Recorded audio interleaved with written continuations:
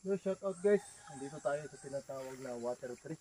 At tunghayan po natin ang mga century people sa mga tribong blaan. Ah, ito po ay ah, isa sa kanilang banal na ano, banal na halaman na kung saan ito po ay nagagamit nila sa panggagamot ng lahat ng uri ng sakit. So, kinukuha nila ang tubig nito. So, dahil tayo ay nangalap, ah, gusto din natin na magkaroon ng ah, pangkalahatang gamutan. So, ang sekreto naman po, para makuha mo ang enerhiya ng buong puno, ay kukuha ka ng ugat. So, yan yan. At na, isa pa sa matindi nito, mapapansin niyo mga kapatid, ay siya ay nakapatong sa bato. So, medyo matagal na to dito. At, ano na.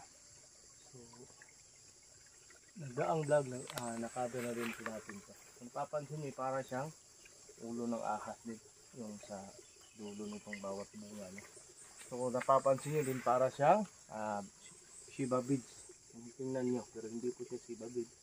Ito po yung malambot. Yan. Pero halos katulad lang. Oh. Yan oh. Yung Shiba beads at saka ito. Yan. So guys, isang mapagpalang panahon. Yan. So meron na naman po tayong nagustuhan. No? Tingnan nyo yung pagbigkis niya. Napaka galing niya yung pagbigkis niya. So, mapansin nyo, ilang ulit siya balik-ulit ko pataas kukunin natin to. Yan. so ito yung para din sa pagkaibigan panghalina mainam po sa pangkaswerte.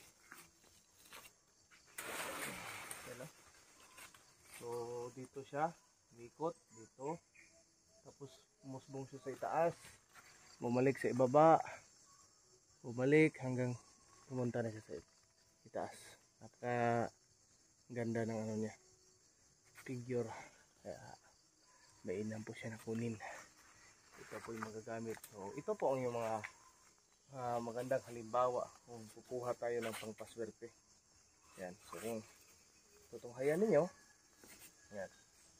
Ito yan sa taas. Yan. Putulin ko na lang ito para makita.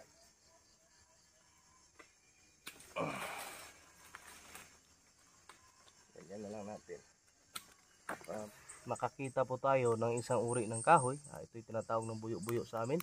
So niya pala, ito po yung sikretong panggagamot sa kagat ng ahas. So kung papansin nyo, humusbong siya dito, bumaliktad siya dito, at umakyat na naman siya. Kaya napansin natin na magagamit. Yan nga pala mga kapatid, isa din po tong uri ng sinag-araw.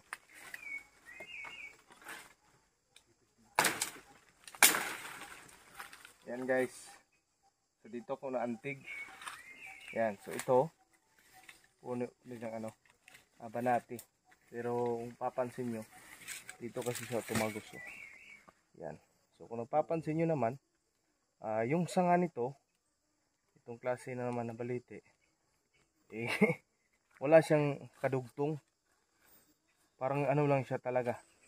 Yung sa sanga niya, eh, dito lang talaga. Naglock lang sa kanya para mahigpitan mahawakan siya. Yan o. So, yan. So, kuha na. Imo na. Ulitin natin. Ito kasi yung tiningnan ko. Eh, tumagos pala siya dito. Yan. So, pinagtataka ko naman. Kasi itong, ano, itong isa ding baging, eh, naglock siya. Hinawakan niya ito. Pagdating dito, magkadugtong lang siya dito. So, para lang siyang sumibol, para lang humawak nito. So, wala siyang dulo. Yan, so mainam po siyang gamitin.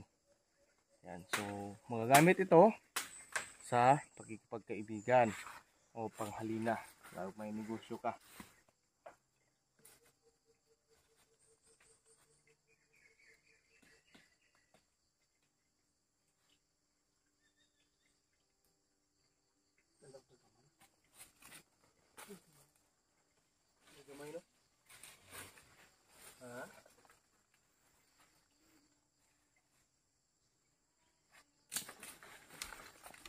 Yan, so ito yung isang uri ng ratan. Ah, yung tinatawag lang ratan na bai. So sa karunungang spiritual kapatid, ito po yung nagagamit sa ano, ah, pangliwas bala. Yan. So, para din sa bagakay na libon. Wala po siyang butas. Yan. So, sakat lang namin ang ganito siguro katataas. Ito, sapat na ito. Yan. So, So, yan ang kanyang tsura. Libon din. Wala siyang butas. So, ito yung tinatawag dito sa amin, amin na ratan na bae o uway na babae. So, yan. Shout out sa lahat at mapagpalang panahon. At hanggang sa muli po. Ilang minuto?